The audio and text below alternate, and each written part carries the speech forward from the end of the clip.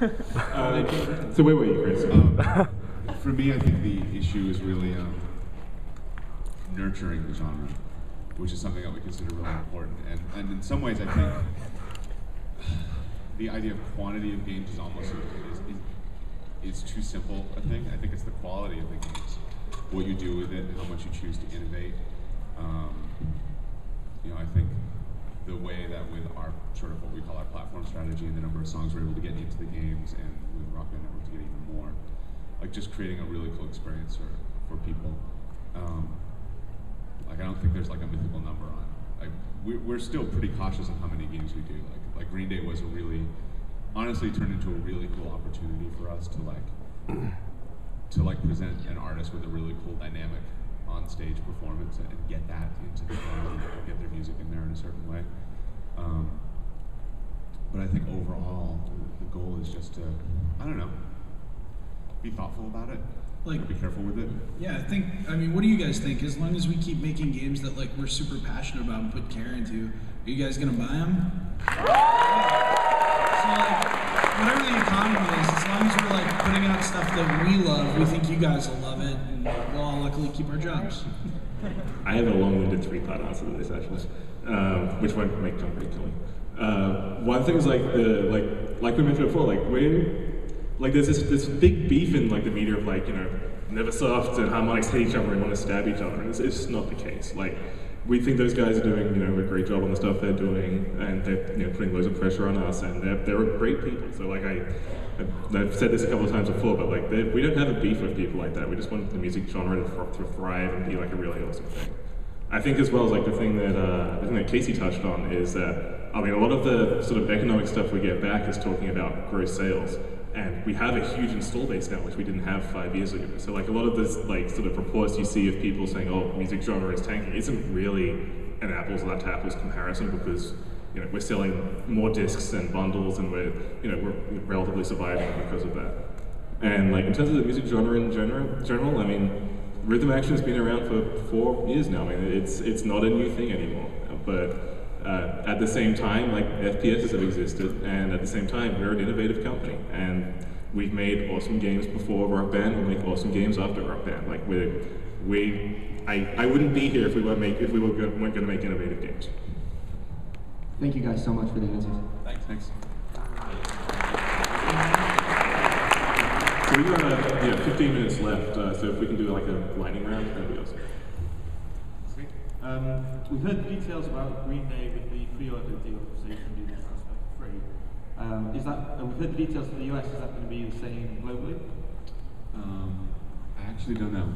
Um, but we're, for what it's worth, we're really psyched that we're able to do that. The, the export fee uh, is something that's just sort of necessary from a licensing perspective, and we're really glad that GameStop was able to help us with that. And for people who already haven't bought the, um, the current Green Day DLC, the Plus Edition gives you both the uh, export token for free and the token for those songs. So that's a, actually a really good value for seventy dollars. Sorry, I don't know anything about the international part. It's okay. I, uh, I don't know if this breaks any of the rules, but that we cover at the beginning. um, are you guys trying to recapture the um, the original set list from from the original Guitar Hero? Because you, you've been releasing some DLC that uh, that was on the first the first uh, game that you worked on. So have you been trying to, to get these songs back into a game that you're working on, or is that just a happy coincidence? It's actually kind of funny because like the other thing I keep hearing along these lines is like, uh, are you guys paying radio stations to play songs off Rock Band? Because I always hear Rock Band songs on the radio. I mean, I think the thing is we have like twelve hundred ish songs on the on the store now, and there's I mean, that's naturally, there are awesome songs. Like, there's going to be overlap across, I mean, not just Guitar Hero, but like on every other music game on the market. Think as long the only criteria for us picking songs is that it's an awesome song. Thanks.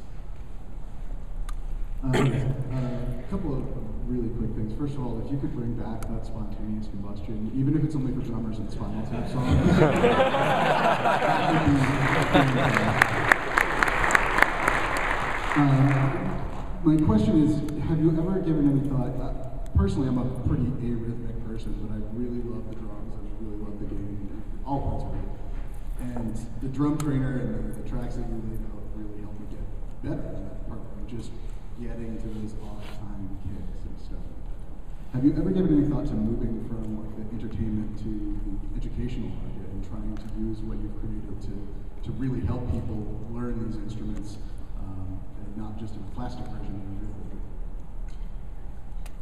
I think like the drum trainer actually does a really good job at teaching people like limb independence and teaching people like the, the basics of drumming. But like uh, in general, we're like more about having fun than teaching people like a real skill and about connecting people to music that like don't know how to play stuff. So I mean, I don't think we're ever gonna like. I don't know about future products, but you know, we just want people to have fun. Yeah, I think it's, it's actually we've we've you know we've discussed it and debated it, and I think really the priority for us is is game, and when you can learn along the way, it's it's really satisfying. Like Dan, I think you learned drums from. Uh, Yeah, I'm from RB1. I basically learned while we're making RB1. I, we have a practice space uh, underneath Harmonix. I sort of remember gem track stuff, set up the kit in like the four pad layout, and like learn uh, like the rock band one set list just by, by going from that. I mean, it sounded terrible, but it was it, it was basic skills. We, we have had music programs come into the office though and talk about how they're using our products, and we've had some discussions there, and we've had actually had people like volunteer their time to, to try to help out. So there, there is some connection there with, with us and those people. Uh, it's mostly on their end though; they're using our products to, to help, and you know we're always interested in hearing that because that's cool. Thank you. That's kind So, uh, do you guys have any specific videos you want to show before we um, run out of time? I don't know what's in it. Research. I Um, don't know what got approved. I should say. we have a bunch of stuff. We have acapella. We have, uh, Actually, something. Did you want to show that PSP thing? Because I think that's like good nerdy design. and I think that's Uh, you guys interested in like what we do for design sometimes? How do you? What's that? How do you? Yeah, sure. I worked on a, a project called Rock Band Unplugged. It was on PSP, and um, that was the first pedal I worked on that was external. Uh, and a lot of our, our jobs are like we write up specs, um, we talk with everybody in the company about how the game's going, and, and a lot of our jobs are like really nitty gritty stuff. So you can you can see here this is an earlier version. This game uh, was developed with uh, Foundation Nine. Um, Backbone and- Entertainment, and- Yeah, great also guys. Backbone. Uh, those guys are really cool, and this this is a an earlier form of this running on PC. And at this point in the game, you know, I was just like part of my time was Beatles, part of my time was this, and I was like focusing on it. I was like, something about it just doesn't feel right. When you switch tracks, there's like this feeling where it's maybe like a quarter of a second you can't recover. It feels like uh, not like the game's style we're going for. When you switch track, can start beat matching on the gems right away. Uh, one of the things I did here was I uh, recorded a video just to see what was going on when I switched tracks. And um, when you look at this, you can see that uh, in slow mo, the what we call that that thing up there where the gems go over, um, we call that uh, the now bar, which has a bunch of smashers in it. Um, you can see that it's not staying in the screen; it's actually attached to the tracks that are next to it. Um, so there's actually a, a period, like a quarter of a second, where it actually disappears. You can see it right here, um, and it's not on screen. And then it pops into existence there, and uh, that was really problematic. And it was kind of hard to describe in you know in, in just general terms why we were feeling like oh it's just it's not as tight as it could be. But uh, so I showed this to the guys down there uh, when they came up to visit us, and it became immediately obvious that this is one of the problems at that point. So uh, I think one of the guys, the lead programmer, said that there's this actually this study out there where your brain, when you see an image um, of a face and then you flash uh, a black screen and then you show it again, people have a hard time remembering if that's the same face. And that could be the same kind of brain thing that's going on here. So once they fixed this, it became like immediately a lot tighter. Um, a, lot of our job is like uh, macro, but a lot of our job is micro, like dissecting something, why it's not working. Uh, that's just one example right there. And, with- and with these games, uh, the core interaction is incredibly simple. I mean, all we're really doing is turning audio on and off in response to whether you hit the button. So all of this visual feedback is incredibly essential for you feeling like you're actually participating in the experience. Like I remember on Beatles, like the this the height at which the particles that fly off when you hit a gem, like if it wasn't high enough, you didn't notice and you didn't feel it playing. And if we made it a little bit higher, suddenly you felt like you were connected to the music. And all that minutia is just essential to us in terms of how to, you know, get that experience across to Oh yeah, these are some of the more macro level stuff. Like that last one was like the initial ideas for how we could display vocal harmony results, which you can see was different than what we ended up shipping with. We tried different things because people wanted to know what they're doing for every bar and what they're doing for every arrow. So we